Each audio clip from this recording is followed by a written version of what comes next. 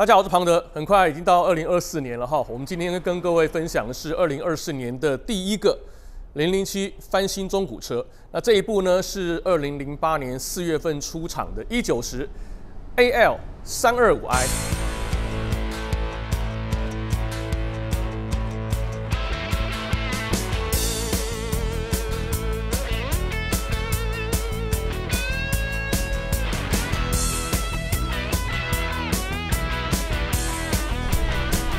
每部车总要有一定区隔嘛，因为我的车型啊，翻新车型都很类似哦，不是一九十就是一四六啊，或一六十啊，所以每一台呢都要给它定掉一个名称。那这一部呢叫做 AL 三二五 i，为什么叫 AL 呢？容我稍后跟各位分享哈。好，这部车是在去年，也就是一个月前了，一个月前买的哈，在网络上跟这个车行买的。那么这部车呢是正零八年，那你看这个车头。好，是这个一般讲说这个鼻毛啊，有点难听了哈。就是车头水箱罩上还有两个这个镀铬的这个饰条，这个呢是属于前期版，就是非 LCI 的。但是呢，因为这一台车是零八年的四月，都处于这个交界期，所以在外观上哈，外观配备上感觉还是前期款的。但是呢，它内部哦，主要是引擎哦，引擎已经变成是所谓一般称为黑头引擎，就是 N 五二 N。好，N 五二 N，那 N 五二 N 跟 N 五二呢，其实基本上几乎是一模一样，做一点小小的修正啊，包括这一个气门的这个间隙调整器啊，包括这个流量机变数位式的，包括呢它这个 DME 哦，就是引擎控制电脑呢，也是新的一个型号啦。但是基本上整个引擎可以说几乎是一模一样的哈。好，所以当时看车的时候呢，就本来想说，哎，也不确定这引擎是什么型号。结果到现场一看，哇，这个引擎是黑头的，在那个交接期哦，有时候这个很难说装了什么引擎哈。那是新款引擎，OK，那觉得还不错。然后呢，车内的方向盘它原厂就已经有拨片了哦，在那个年代开始是有拨片的。好，那么再看一看外观各方面，大家知道我看车主要就是看车子的这个外观板件。和内装的保持的一个程度，哈，我觉得这台车还不错。然后呢，我就请大伟去这个试开了一下。那那个时候买的时候天很冷哦，他知道二零二三年年底哦，有好几波哈寒流，就那个时候买的。所以大伟开回来，这个哎觉得说还还不错啊哈，开起来没有什么问题，蛮有力的哈。好，那我们就买了，哦就买了。那么后来很快马上就就取车之后呢，我再开，换换我开嘛，哦大伟开他的时候，我开我的车。好，我开这台车，然后呢，我就发现，哎，开一开就是上高速公路之后呢，作为就看到开始出现变速箱有一点不是很顺畅。我们知道这个一一九十以后开始使用了六速变速箱嘛，哈，就是所谓的 ZF 的五 HP 十九，或者呢是 GN 的六速，哦，就是所谓的 GN 六，哦，两种变速箱。那其实六速变速箱跟之前一四六的五速变速箱，它除了多一速之外，好，其实这部分不是最大的重点，因为它其实相较于五速的哈，它一到五速的齿比，其实两个变速箱基本上是一样的，它是多了一个第六速，多了个第六档。好，所以内部其实没有什么太大的不一样。重点是呢，关于扭力转换器的咬合、就锁定、lock up 这个部分呢，有比较大的差异。好，这个就是扭力转换器哈，你看这整颗是一个总成嘛。所以它转的时候，整颗哦，整颗是被带动的。那这一面呢？这一面是锁在好锁在引擎的飞轮，也就是说，引擎一旋转，OK，这整颗就在转，好，整颗就在转，好，这锁是锁定的哦。那你引擎是急转吗？怠速，比如七百五十转，它就是转七百五十转。那你转速拉起来，不管一千五、两千、三千，它反正引擎急转，这个扭力转换器它就是急转，是锁在一起的哈。大家了解我意思？好。那你说变速箱它不是对不对？要能够断开来动力吗？不然你怎么办？引擎在转，车子如果停下来怎么办？对不对？好，所以另外这一头翻过来，这一头呢，这一面就是插在变速箱上。好，插进去之后呢，你看外壳转的时候，它外面好，外面这一个好，这个轴外外外面这一圈，好，它也是有个缺口，有看到缺口哈？OK，它就是卡在变速箱内部的帮补的部分。所以呢，只要引擎一转动，飞轮就跟着转。飞轮一转动，变速箱内部的油帮补就是被打油的。OK，所以呢，我们有时候说你车子静止的时候，如果被拖掉，变速箱可能会坏。为什么？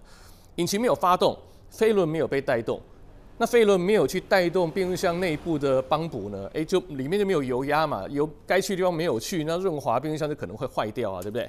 好，那你说动力要怎么传给？好，这这这这显然不是传动力，这是传给什么？给帮补而已。动力怎么传递呢？它内部你看，哦，它内部呢还有齿，好，内部的这个芯，好，变速箱的芯插进去，插到内部，内部那个一般我们讲 turbine 啊，就是涡轮，或者讲叶片，那个呢才是要把动力传递给变速箱，让变速箱呢有力量去驱动传动轴和轮子。那你中间哦，你看嘛，外壳在转转转转转，对不对？那那个叶片呢，如果是不动的话，里面怎么样？就是油在空打嘛，对不对？那你随着你现在要有动力的时候呢，你引擎转速拉高，这个时候呢，怎么样？内部那个叶片一定要承受相对比较大的压力，它才会被带动，才有力量透过我刚才讲中间那个轴心呐，哦，去驱动变速箱内部才有动力传达嘛。好，那你现在问题就是说，那要传达多少嘞？对不对？那比较早期的变速箱，就是没那么聪明的话，它其实内部就完全是靠这个机械的。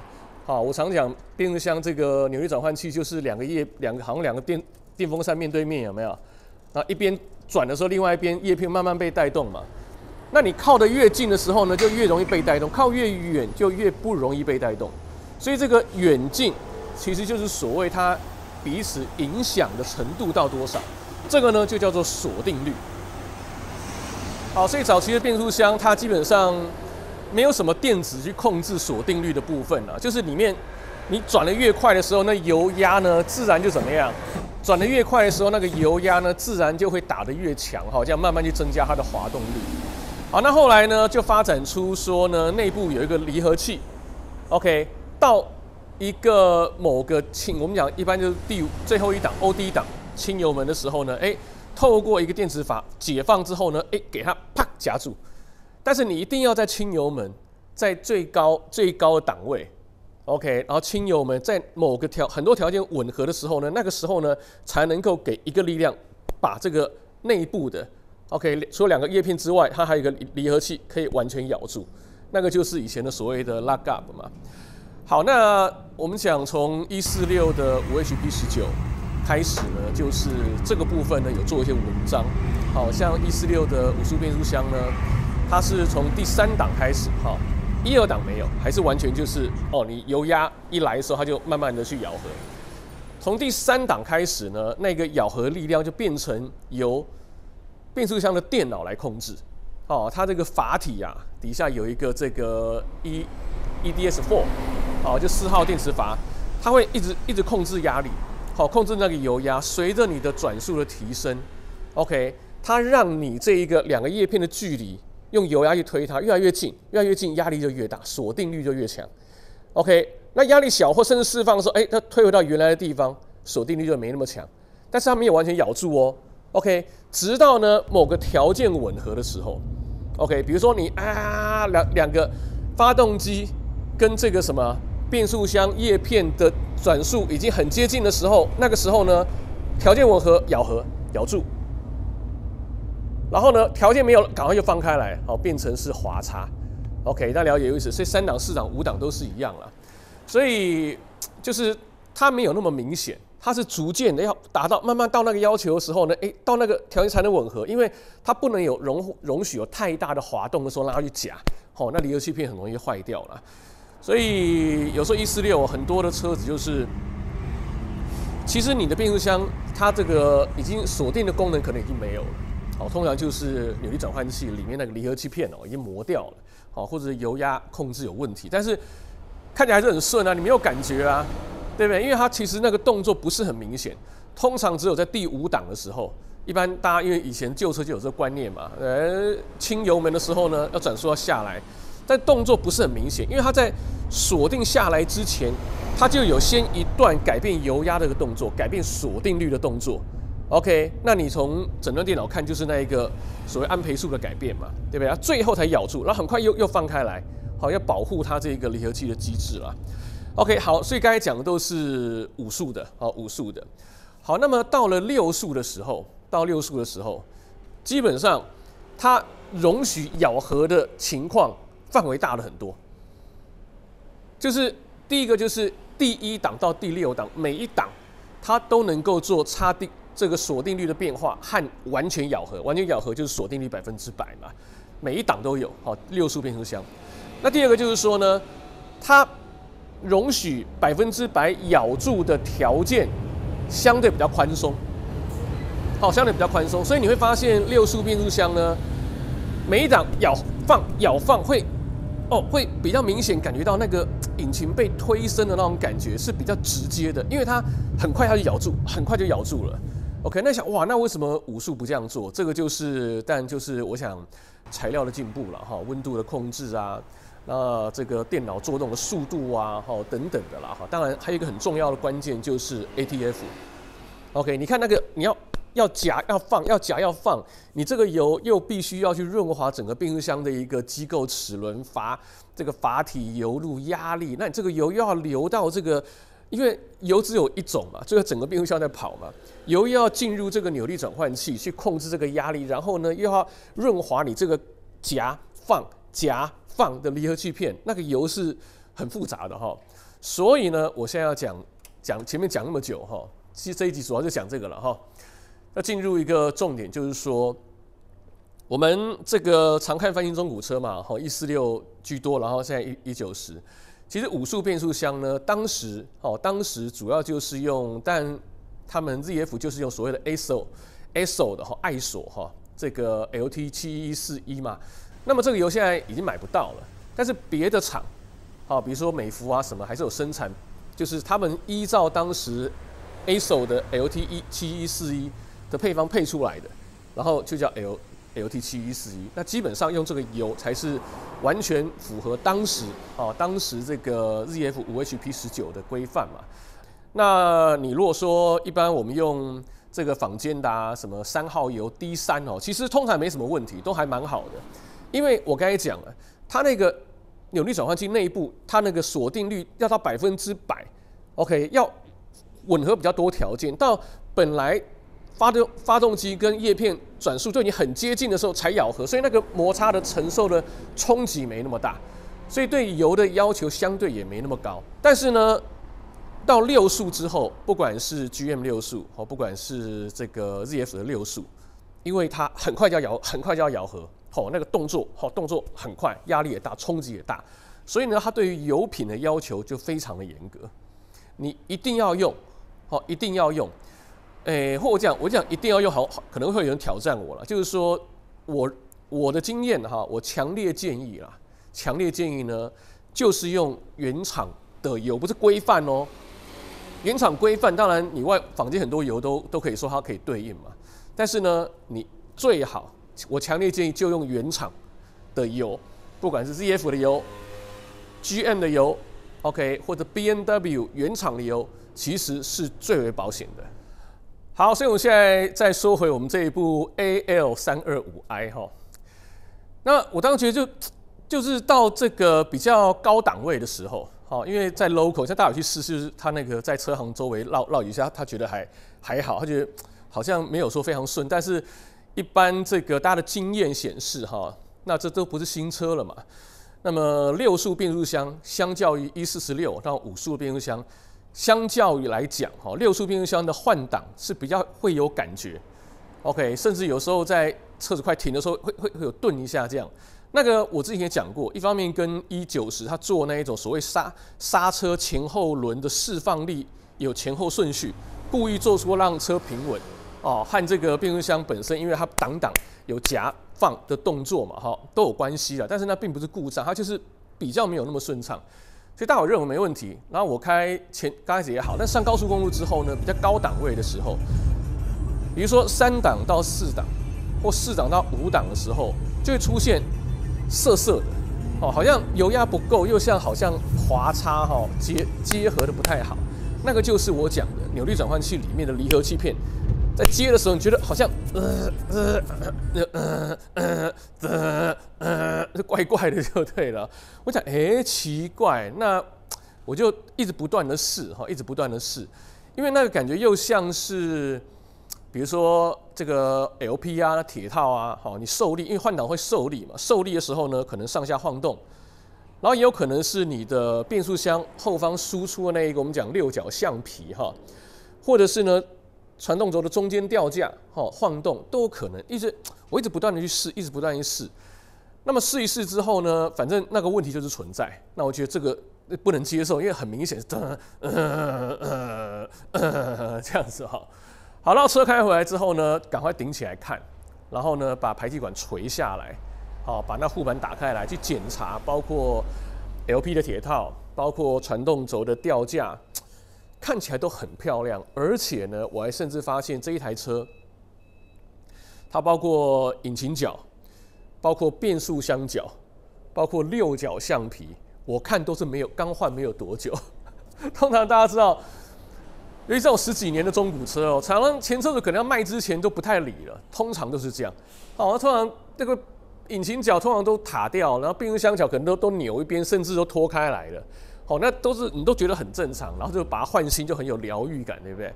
这样看怎么好像除了那个传动轴吊架看起来很这样看起来好好，但看起来不不是刚换没多久的哈，其他看起来都很新啊，看起来感觉都刚换的。那我想，哎呀，一定是。之前前车主呢也发现有这样的问题，好，然后呢就从这边简单的开始换嘛，引擎角啊、变速箱角啦、六角橡皮换换换，可能发现还是一样，他就把车卖了。我想可能是这样吧。那你想啊，唐德，你看买到这个 B G 了，对不对？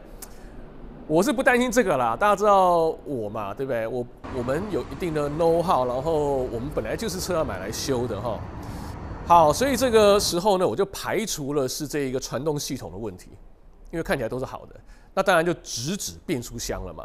好，那之前也拍过影片跟各位分享，就是说变速箱油哈，自动变速箱油，不管是这一种手自排、自手排，OK，或者是这个 DCT，好，你一定要隔夜啦，哦，但是因为现在冬天可能还好一点，你夏天你一定要隔夜，要到完全到室温，夏天有时候三十几度，因为三十几度就是刚刚好可以开始去测量油位的温度。然后你一发动，很快三几度，很快就起来了哈。那冬天的话，现在还好，比如十七八度，你发起来要温度拉到三十三十度之前，可能你已经油都换完了，就还比较 safe 了哈。好，所以我呢，我就把车子好停停隔夜，然后第二天呢再来，然后呢就照我们的程序哦跟大家报告，OK，一定要怎么样？一定要温度好低于三十度的时候，怎么样开始做油位检查？OK，那我现在是检查嘛，还没有不是换油嘛？那我把车撑起来，OK，然后引擎要发动，好，发动之后发动了嘛，好，发动之后你 PRND 来回打三次，让里面油跑一跑，OK，好，这个时候呢发动着哦，好，那这温度是十十十八度而已嘛，因为很冷嘛，对不对？哈，OK，这个时候呢你把那一个加油口。变速箱上的那个加油不是漏油口，加油口在侧面哈，那个打开来，打开来的时候呢，如果有油流出来的话，那表示没有油不够的问题，可能还太多了，对不对？可能因为冷的时候是体积比较小，它还流出来，那热的时候更是流出来，体热的时候会膨胀了，对不对？然后呢，我就撑起来，打开来之后呢，没有油流出来，那也不代表说它一定是不够的，因为冷车嘛。对不对？因为标准程序是，你在这个状况下，油温达到三十度以上的时候，加油加加加加到那个油孔满出来，就刚好到那个油孔的油位的意思哈。好，那我不管，我发起来，反正看没有流出来呢，我就先补油进去，OK，看是不是油不够。好，那我刚才不是讲吗？这个六速的油呢，千万要非常审慎的选择。好，要审慎的选择。那么不管不管如何了哈，我我现在是在测试嘛，好，现在测试嘛。那我这个油不管测试结果是好是不好，OK，我一定是油要重新换一次的哈。那我现在就先补，我要先测试是不是油量不够哈，因为很多变速箱的问题其实就是油量不够。OK，这变速箱外观看起来好，没有漏油哦，好，没有漏油哦。但是有没有可能油不够呢？当然有可能，这个我们弄车弄久都知道。有时候你就是因为有时候有一些外厂就是没有照 SOP，就会出现这些问题。好，那我就先用这一罐。好，这一罐是美孚的，哦，就这个规格了哈。好，它它这一罐油呢，它基本上它写八 L 八 LV 啦，是不是代表八速用？我也不知道。重点是它里面写的，它对应的 B N W 变速箱的哦很多规范哈，很多规范。所以显然呢，有 cover 到呢这个 Z F 六速以上的规格。重点是什么？重点是 D 六，好 Dectron Six。这个是很重要的。好，因为我这一台车的变速箱是 GM 的，好 GM 六。那如果说是 ZF 的话，六 HP 的话呢，你就一定要用。好，你问我的话啦，我强烈建议一定要用，就是原厂的 ZF 原厂的 ZF 六速油。OK，就是六上面写六那个 ZF 六速油。那如果是 GM 变速箱的话呢，它的原厂规范给你的就是呢 Dectron Six D 六。好，那这一个。好，这一个呢，这个油，OK，第一个呢，它这个三九七一一四有没有？这个呢，我们在它的变速箱下面看到它贴的哈，它的原厂用的油就是这个这个这个这个规格，原厂料号。好，所以说它美孚这一罐油，它告诉你说它可以符合这一个好原厂规范料号的这个规格。然后第二个呢很重要，GM Dectron。这个 V I 这是五嘛哈，呃，这个六嘛，对不对？好，G N 六，所以这一罐油呢，显然是它告诉你料号又吻合，它也告诉你这个油它也符合 G N 六，也就是原厂告诉你说它这一个 G N 变速箱就是要用这个 Dectron 六号油的规范，所以呢，我就先用这个油补补补了多少呢？补了一罐半。好，那。其实如果一补马上流出来的话，我就可能也不会那么开心了，因为表示变速箱可能挂了嘛，对不对？然后不是油的问题嘛。但是呢，我补了一瓶之后还没流出来，我心中就大概有谱了。这个应该就是之前，好，它的油就是不够。好，为什么不够？你也不要问我，反正就是不够。那后来我再补，大概第二罐补了大概六百六七百 CC，等于我补了就大概算一点七公升的油了。这比例算很高啦，因为整个变速箱的油大概也不过就是你如果抽干的话啦，大概八八点五到九公升吧。那你少了一点一点六七公升呢，其实少蛮多的。所以补补补，哎，我就把它补补到流出来的时候呢，大概已经三十三四度，那是最漂亮的。哦，大概因为三十度到五五十度以上就不准了，你一定要量到五十度以下。所以在三十三四度的时候满出来，好，我就把它锁回去。锁回去怎么样？赶快去试车啊！结果一试车，OK 了，没有问题。之前的状况哈，就是我讲，尤其在比较高档位三四五六档的时候呢，在进档的时候结合会 呃呃呃不顺的情形，已经呢，我不敢说百分之百没有，因为六速变速箱我刚才前面讲了。好，你新车我不敢讲，因为那十几年前的事我也忘记了哈。就是说，你到这一种十几万公里、二十万公里的车呢，就算正常，你它没有故障，正常的一个损耗或者说老化也好，它档跟档的换挡是比较容易有感觉的。OK，但是呢，我觉得我这个油补进去的时候，它它整个我我刚刚觉得那个很不正常，现在已经完全没有了，我就变成哎，我可以接受的换挡的顺畅度了。好，接下来呢怎么办？当然要进入一个正常的变速箱。保养的 SOP 什么 SOP 呢？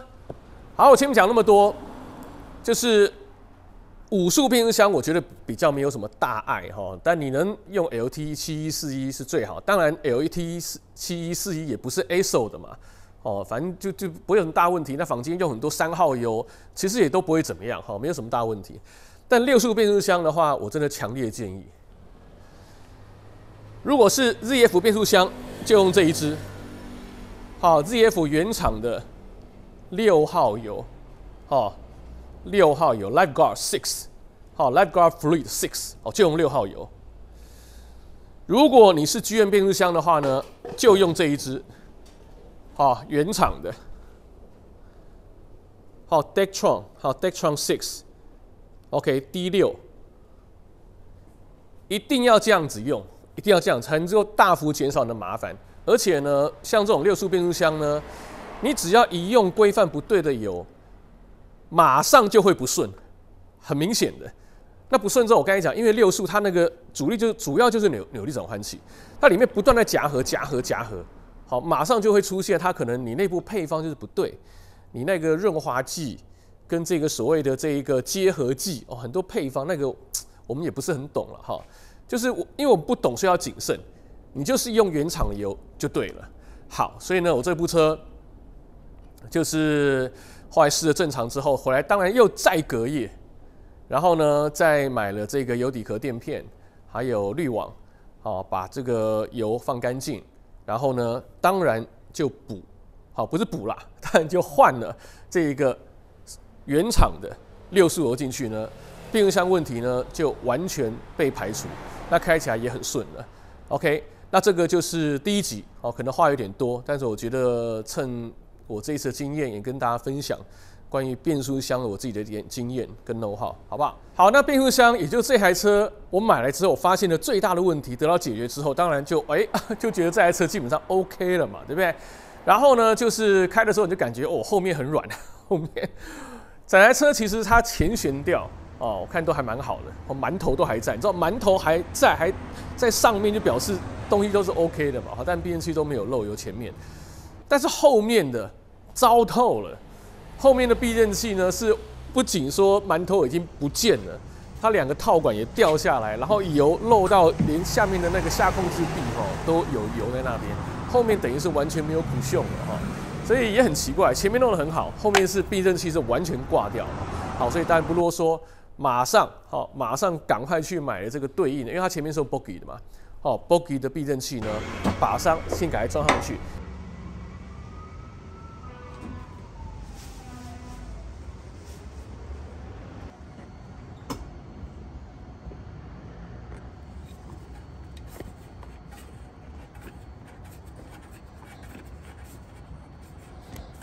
哦，避震器装上去，然后呢，原来的这个十六寸框啊，也把它拆，反正都都拆了嘛，对不对？就把我之前留下的那个阿达 van 哈，之前一六十还装过，对不对？